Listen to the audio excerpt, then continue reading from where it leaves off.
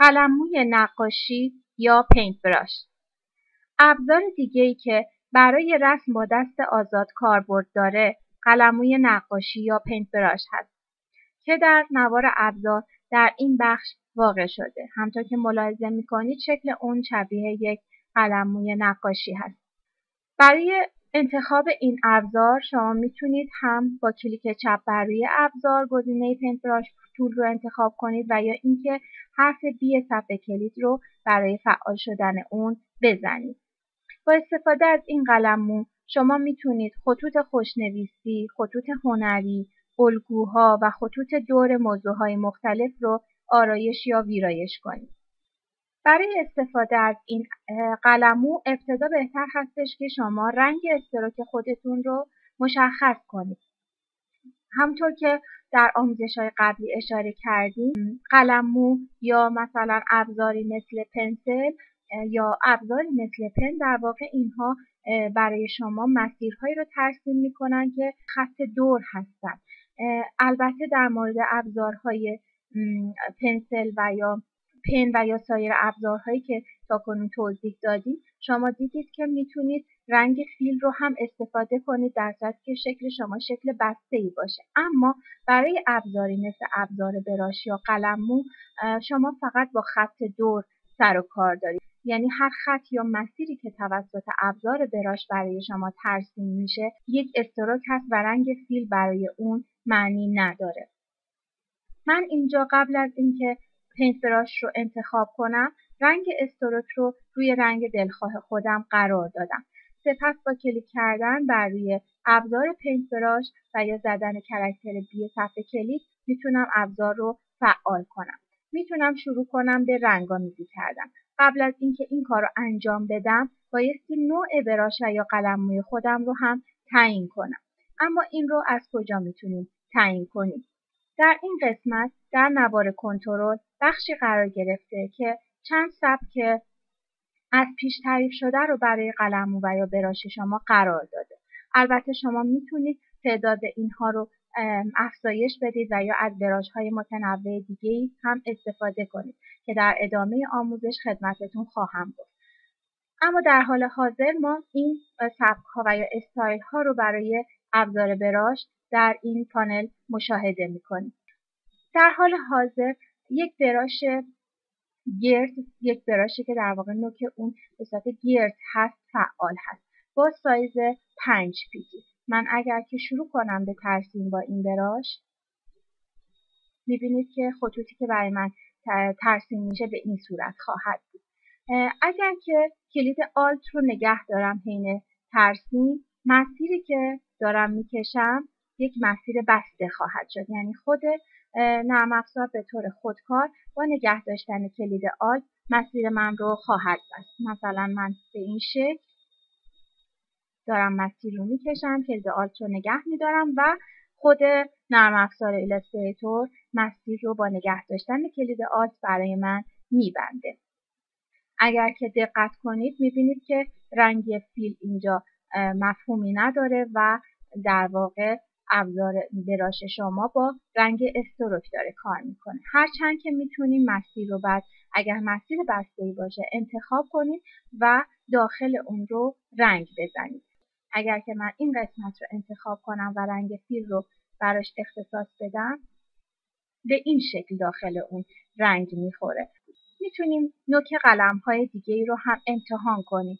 به این ترتیب که من ابزار براش رو برمیدارم و این بار یک قلم دیگر رو امتحان می‌کنم. خب چون این انتخاب بود الان این قلمی که من در این قسمت انتخاب کردم روی این مسیری که قبل کشیده شده بودم اعمال شد.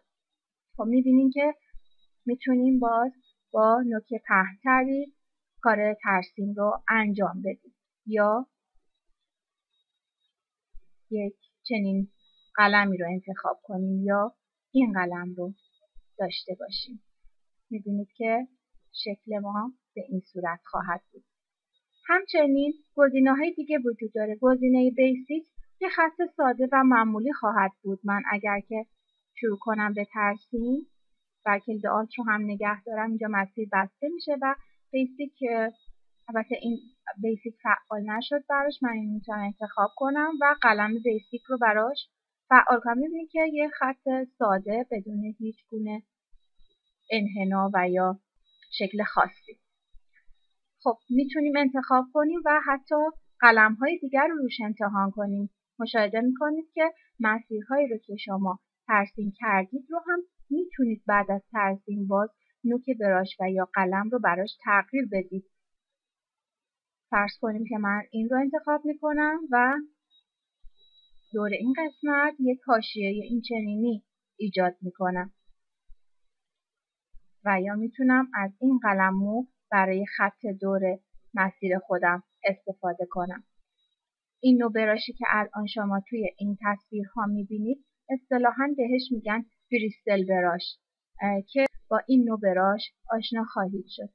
به این ترتیب پس شما می‌تونید با استفاده از این سبک هایی که در حال حاضر اینجا می‌بینید مسیرهای خودتون رو ترسیم بکنید و یا اشکال خودتون ترسیم کنید و یا حتی رنگامیزی کنید الان مثلا این براش برای من فعال هستش.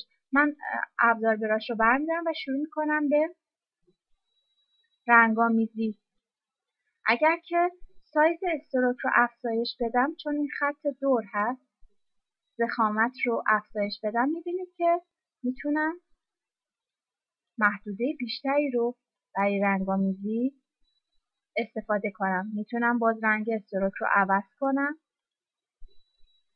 و ترکیب رنگ ایجاد کنم. و به این ترتیب فضای خودم رو با یک چنین قلمویی رنگامیزی کنم. خب من سفر رو پاک کردم. می‌خوایم ببینیم تنظیمات ابزار براش ما شامل چه گزینه هایی هست؟ برای اینکه وارد بخش تنظیمات بشیم مشابه ابزار Pencil شما می‌تونید دوبار کلیک روی ابزار brush تون انجام بدید و وارد بخش option اون بشید.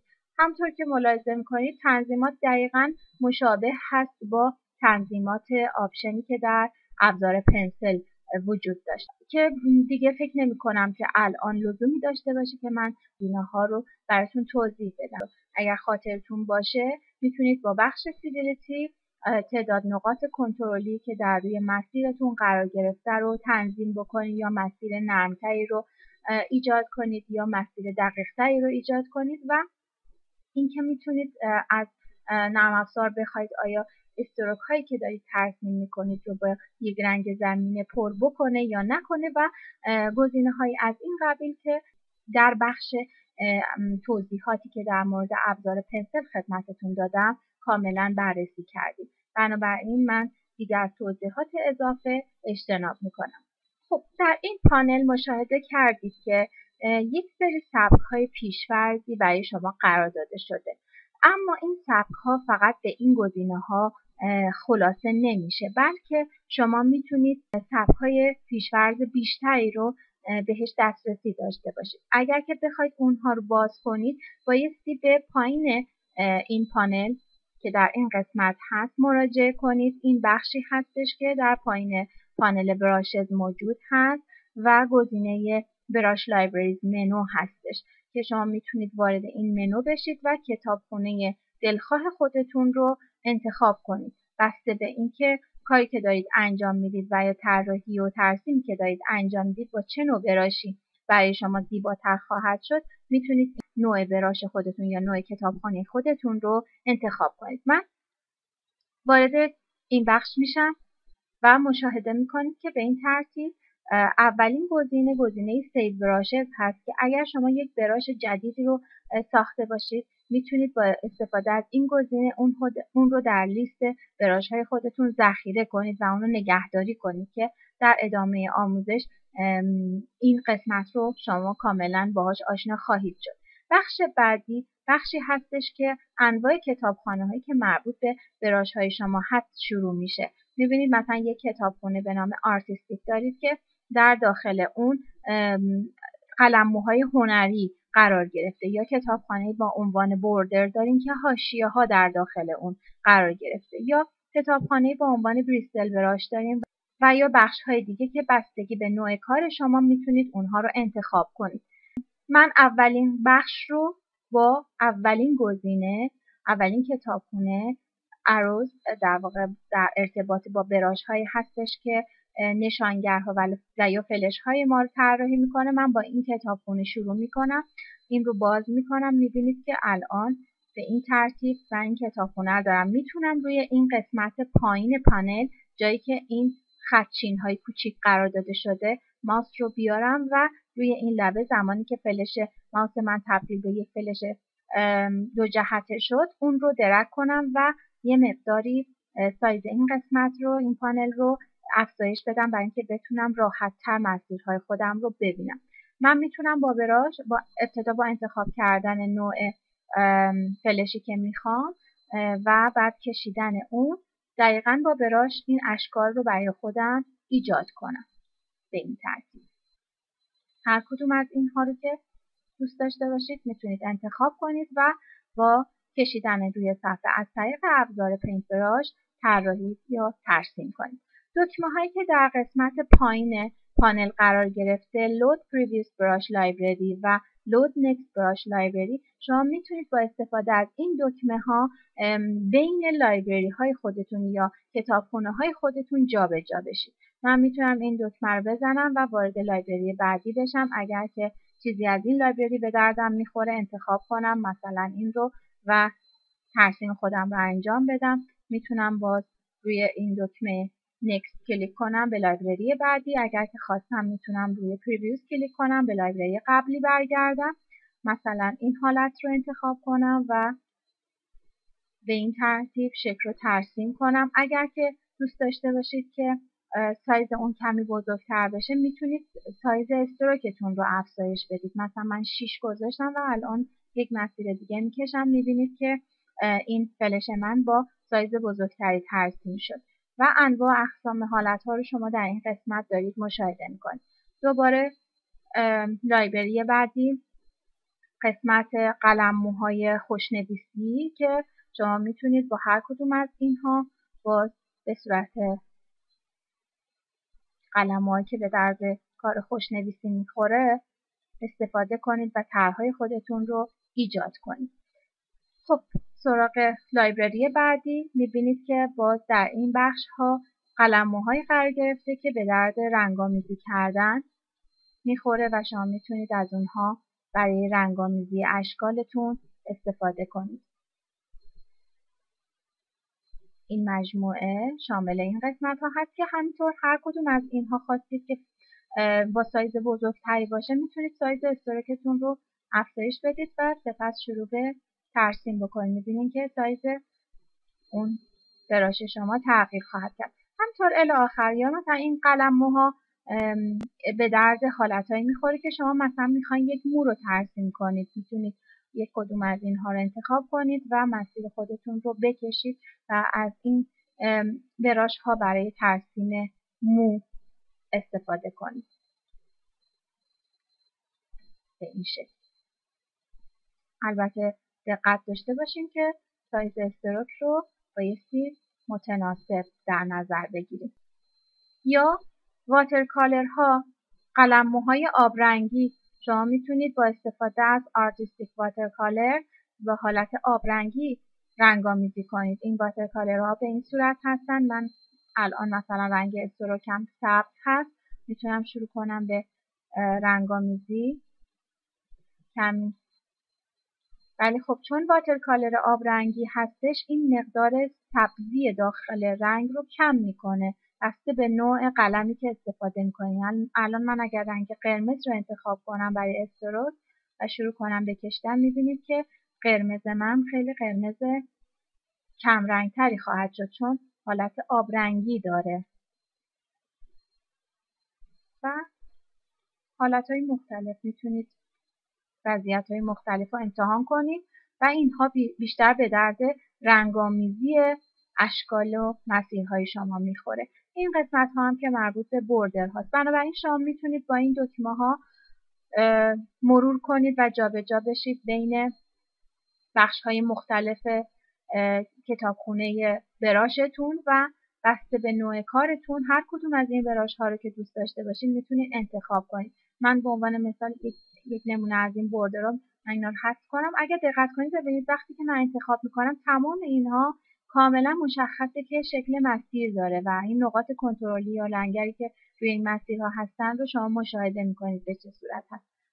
من یک مسیری رو می‌تونم حتی با ابزارهای دیگه طراحی کنم. مثلا با ابزار پن مثلا یک مسیر منحنی رو به این ترتیب ترسیم کنم و کلید اسکیپ یا کنترل رو نگه دارم برای اینکه از حالت ابزار از حالت ترسیم توسط ابزار پن خارج بشم و بتونم مسیر رو باز نگه دارم. حالا در حالی که مسیر من انتخاب هست من می‌تونم روی این براش کلیک کنم و به اون مسیر ترسیمی خودم این نوع براش رو اختصاص بدم. یعنی شما حتی می‌تونید مسیر خودتون رو از طریق ابزارهای دیگه بکشید و بعد از لایبرری براش برای اینکه شکل مسیرتون به اون وضعیت در بیاد استفاده کنید.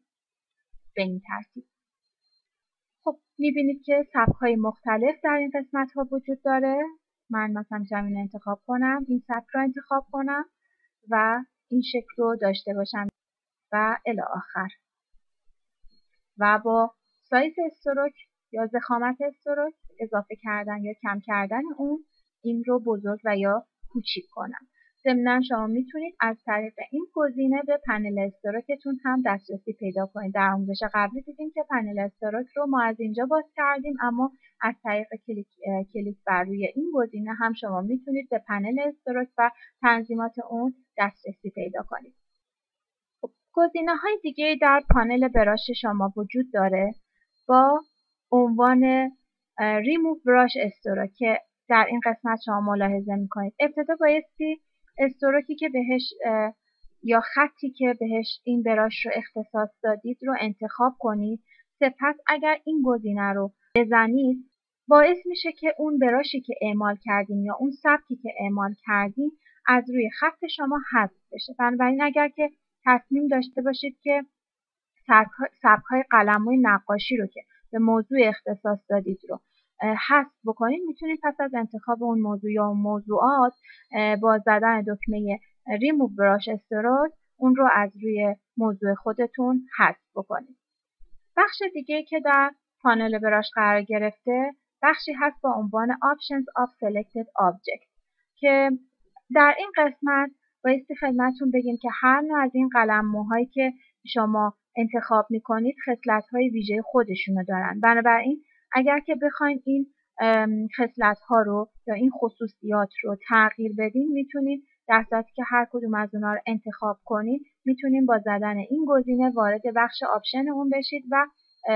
خصوصیات رو عوض کنید.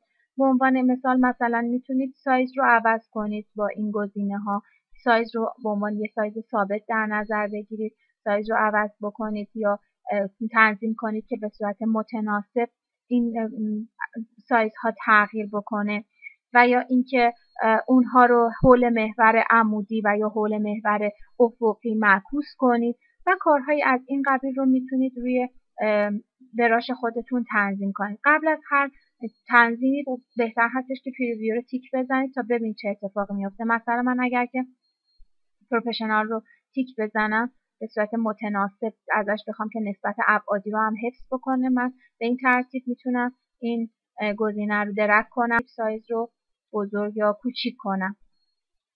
و یا اینکه می‌تونم این رو اگر که امکانش باشه فیلیپ اکرس خب اینجا فیلیپ الان به من جواب نمیده حول محور عمودی اتفاقی برای من نمیفته و نمی‌تونه چیزی رو حول محور عمودی برای من معکوس کنه چون محور عمودی دقیقا این ور اون ورش یکسان هستش. اما محور افقی چرا؟ چون این در حالتی که این تیک نداشته باشه به سمت بالا هست و اگه من تیک بزنم این به سمت پایین قرار می‌گیره به این ترتیب هر کدوم از این brush ها شامل تنظیمات و یا خصوصیاتی هستند که شما می‌تونید با کلیک کردن روی این گزینه وارد بخش option شون بشید و اونها رو تغییر بدید. گزینه بعدی New Brush هست که با این دکمه می‌تونید قلموی جدیدی رو ایجاد بکنید. روش های زیادی برای این کار وجود داره مثلا می‌تونید یک قلموی جدید رو که روی صفحه خودتون طراحی کردید رو به داخل این پانل drag کنید.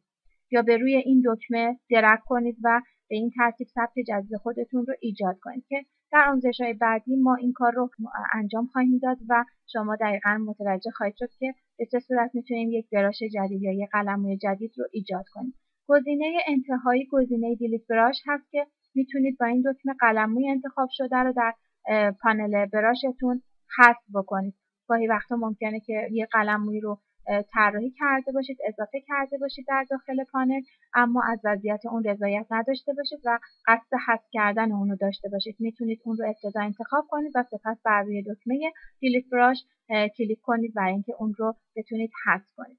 کلیه بخش هایی که در این پانل شما در بخش نوار کنترل به این صورت ملاحظه کردید در این قسمت هم موجوده. در واقع پانل Brushes ما در اینجا قرار گرفته که این واقع همین پانلی هستش که شما روی نوار کنترل ملاحظه می‌کنید. فرقی نمی‌کنه که از این مسیر به این بخش ها دسترسی پیدا کنید و یا اینکه از نوار کنترل. گاهی وقتا ما راحت, هستیم که پانل رو در این قسمت باز نگه داریم تا بتونیم راحت تر براش هایی که روی صفحه طراحی می‌کنیم رو منتقل کنیم به داخل پانل براشز و از اون یک براش جدید ایجاد کنیم.